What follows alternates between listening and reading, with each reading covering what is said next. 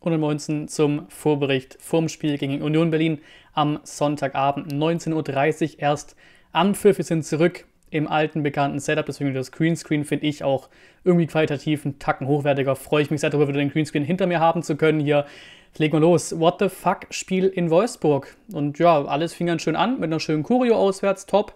Äh, dann eben das Spiel, ne? Schlechte erste Halbzeit. Hoffnung halt doch da gewesen, weil du eben Dinge getan hast, die du sonst nie tust. Tore aus nichts, unverdient Tore erzielen. Das hast du getan ging es eigentlich schön mit einem psychologisch wertvollen Zeitpunkt kurz vor der Halbzeit mit dem 2-2 in die Halbzeit. Eigentlich ne, war das quasi Momentum quasi auf deiner Seite in dem Sinne. Aussage auch von Rino in der Halbzeitpause, die, die es mehr wollen, gewinnen hier. Und das war dann wohl Wolfsburg. Silas, Latte, sonst ist nicht viel passiert in der zweiten Halbzeit. Von Wolfsburg auch nicht, muss man auch sagen. Die zweite waren wir besser. Die erste ganz klar Wolfsburg. 91. dann Gerhard. Und man verliert halt so im direkten Duell in Wolfsburg. Man schenkt Wolfsburg diese drei Punkte. Die waren nicht gut, wir waren auch nicht gut. Ähm, aber ja, man schenkt halt denen das Ding. Zum Beispiel Müller 2 zu 1 von Wolfsburg war geschenkt. Klar, Geschichte, Torwartfehler, wissen wir alle. 3-2 waren geführt wirklich defensive Plus. Müller irgendwie alle desolat. Von der Stellung hinter, in der Verteidigung hinten, alles völlig bescheuert, was da abging im 3-2. Wie man das so unkonzentriert agieren kann in der letzten Aktion gefühlt vom Spiel, ist mir ein Wunder. Und dann, ja, wie es auch öfter auf Twitter stand zum Beispiel, schlechtes Zeichen vom Team irgendwo auch. Scheinbar mussten quasi die Spieler richtig aktiv zum Auswärtsblock gebracht werden, gescheucht werden fast. Ja, Postmatch-Interviews wurden auch so ein bisschen gescheut vom VfB nach dem Spiel. Alles keine guten Zeichen. Man hat wieder Punkte liegen lassen im direkten Duell diesmal und steht auf Platz 16. Rinos letztes Spiel. Und die Frage muss man halt stellen und die Fragenstellung muss man einfach bringen mittlerweile leider. Auch wenn ich es nicht will, aber ist einfach so. Es gab Rückendeckung für Rino von Misselat und Co. Auch von Spielern nach der Pleite alles schön und gut. Trotzdem wird aber auch berichtet, dass er vor allem noch diese zwei Spiele hat. Gegen Union jetzt, Tabellenführer, wird nicht, wird nicht einfach. Und dann der Pflichtspiel und auch Pflichtsieg gegen Bochum nächste Woche Samstag. Aber wer weiß, das ist halt auch das Ding, wenn du jetzt gegen Union schon eine richtige Klatsche bekommst und irgendwie klar wird, jo, das Team hat auch keinen Bock mehr, da passt nichts mehr zusammen oder so, die, die reagieren nicht mehr auf den Trainer und so, könnte es auch sein, dass wir gegen Bochum vielleicht schon einen neuen Trainer auf der Bank sitzen haben, weil irgendwann bist du einfach zu weit abgeschlagen. So sehr ich gerne unter Rino die Wende will, das bleibt dann natürlich weiter meine Hoffnung, ganz klar Geschichte. Irgendwann bist du zu weit abgeschlagen. Irgendwann sind es eben die Statistiken, die wir jetzt aktuell haben. 42 Bundesligaspiele, sieben Siege nur, dieses Kalenderjahr nur drei Bundesligasiege wenn man ehrlich ist, in der Zeit, in dieser Spanne von diesen 42 Spielen, waren normalerweise zwei bis drei Trainer bei uns geflogen in Vergangenheit. Nicht, dass ich es gut heißen würde, aber es ist schon sehr krass oder sehr viel ja, Kredit, die wir Matarazzo geben und Zeit, die wir geben und Hoffnung, die wir reinstecken in eben diese, ja, den neuen VfB, sage ich jetzt mal. Kandidaten gibt es natürlich schon, ähm, die scheinbar im Hintergrund so ein bisschen gearbeitet werden. Alles andere wäre auch unprofessionell. Da wären Hütter und Hönes genannt, die würden zumindest vom System her passen. Äh, jetzt müssen wir aber erstmal gucken, wie die nächsten Spiele laufen. Chaos-Spiel, denn das wird es wahrscheinlich. Nummer 1, du hast diese beknackte Anstoßzeit, Sonntag 19.30 das ist schon mal nicht so geil. Liegt natürlich an Union, klare Geschichte, haben halt Europa League gespielt. Ne? Drumherum könnte es aber eben auch wild werden, das meine ich vor allem mit Chaos-Spiel, kommt nämlich einiges zusammen. Wir haben den letzten Tag vom Vasen am Wochenende, am Sonntag eben auch und über 40.000 Zuschauer beim VfB. Ähm, um 21.30 Uhr, auch interessant, endet das Musikfeuerwerk, das den Vasen beendet. Auch schön, vielleicht hört man davon was oder sehr wahrscheinlich hört man davon was im Stadion. Äh, Mercedesstraße ist wohl schon ab 9 Uhr gesperrt.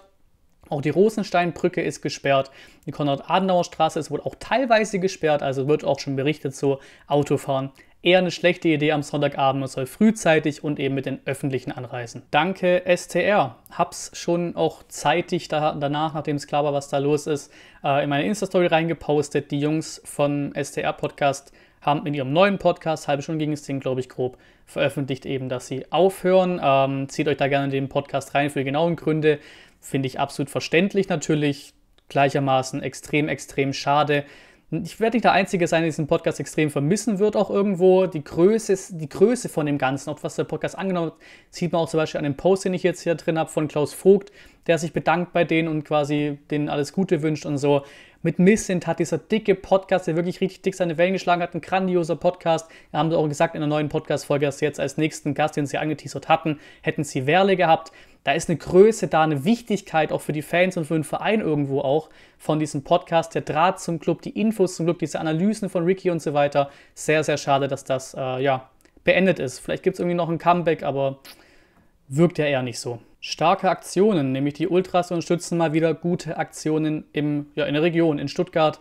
Es gibt eine Spende an den Frauenhelfen Frauen Stuttgart e.V. und eben vor allem äh, natürlich gibt noch viel mehr drumherum. Ne? Ich habe das noch mit reingenommen, was auch noch aktuell ist. Es äh, gibt viele Aktionen, die die Ultras starten, Fangruppen starten, ähm, aber vor allem das Thema Fankalender, was sie ja wirklich oft machen, jedes Jahr machen Jetzt der 18. Fankalender am Start wird es ab dem Unionsspiel erhältlich geben. Ähm, der Spendenempfänger ist diesmal die Rettungshundestaffel Mittlerer Neckar und da wurden eben einfach schon seit 2006 über 200.000 Euro eingesammelt und gespendet. Das ist einfach bockstark. Union Berlin.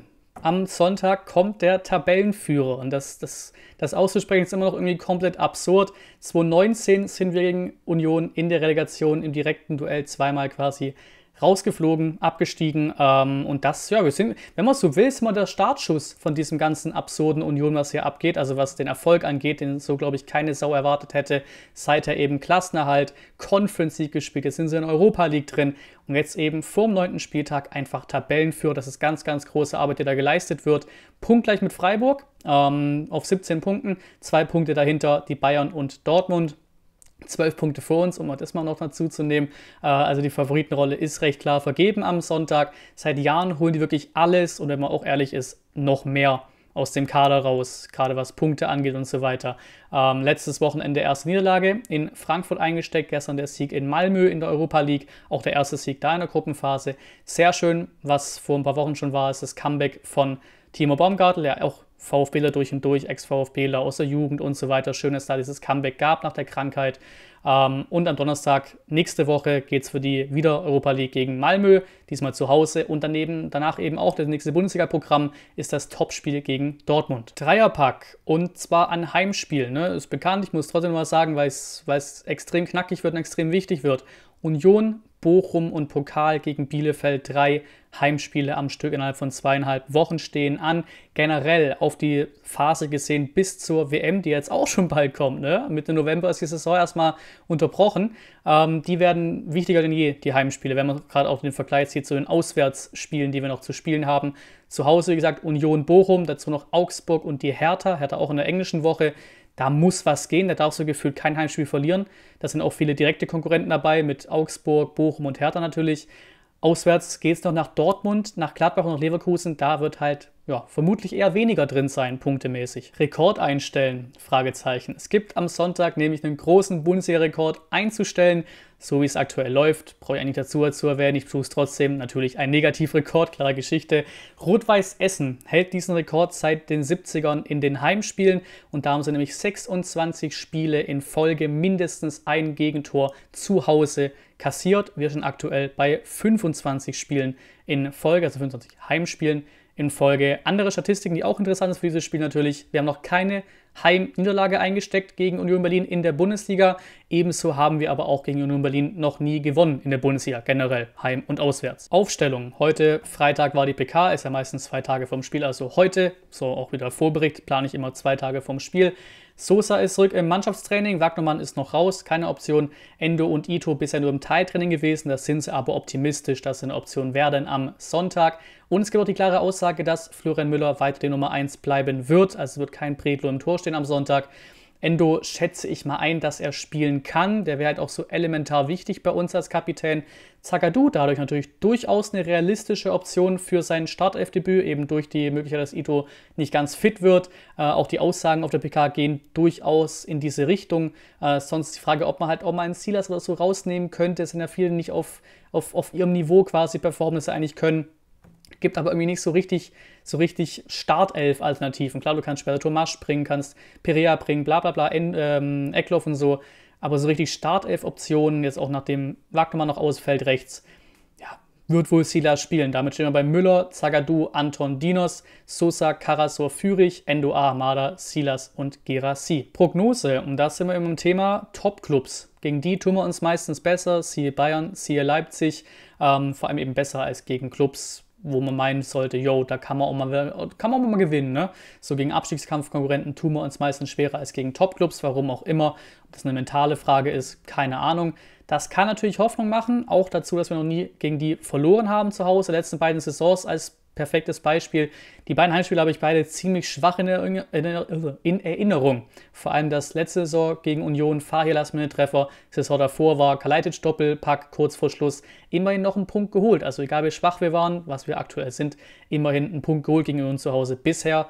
Ähm, und vielleicht auch, dass es ein bisschen anfällt, dass eben Union sich einpendelt. Es ist nämlich absolut ein Duell zwischen Underperformern bei uns und Overperformern bei Bochum. Auch so Statistiken wie Expected Points, also die erwart zu erwarteten Punkteausbeute nach der eigentlichen Leistung äh, in den Spielen, das sind wir mit am stärksten unten dabei, was Underperform angeht, müssten da eigentlich vier, fünf Punkte mehr haben. Ähm, nicht nur nach Gefühl, sondern auch nach Statistik. Äh, jetzt eben erst die Niederlage in Frankfurt, die erste in der Saison für Union. Ähm, Meister werden die ja auch nicht. Also irgendwann wird sich das einpendeln. Ich würde mir wünschen, dass irgendwer anders Meister wird als Bayern. Ne? Klare Geschichte. ich glaube, die werden nicht auf ewig auf der 1 bleiben, da oben, die Unioner. Vielleicht pendelt sich dann so langsam, vielleicht fängt es jetzt an, dass sich so ein bisschen einpendelt, diese Punkteausbeute eher dem entgegenkommt, äh, wie sie eben spielen, sich so ein bisschen normalisiert. Ich denke mal, den Essen-Rekord stellen wir ein, so blöd sind wir einfach defensiv, aber wir holen ein 1 zu 1 gegen Union wie auch letzte Saison. Ihr könnt abstimmen in der Community-Tab und natürlich eure Meinung in die Kommentare. Und dann hier wie immer noch der gesamte Spieltag getippt, der gesamte neunte Spieltag, auch mit dem Topspiel der Bayern in Dortmund. Danke fürs Zuschauen, da ist kein kostenloses Abo da, wenn ihr es noch nicht getan habt und bis zum nächsten Mal.